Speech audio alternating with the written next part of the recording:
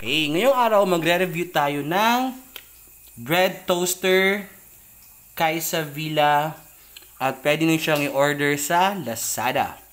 Okay, so ganito yung dumating. Okay naman siya, pero may isang sira lang, yung stop button niya.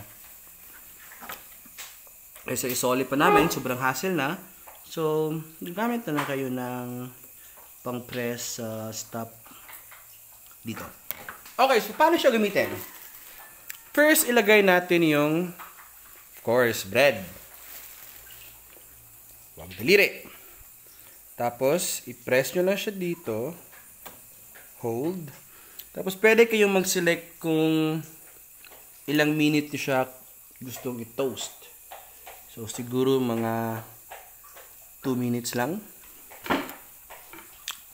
Okay, so ganito na yung makikita mo sa loob.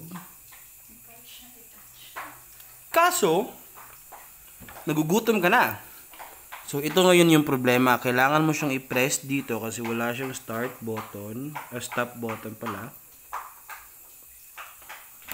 Hindi ko siya ma-press. So,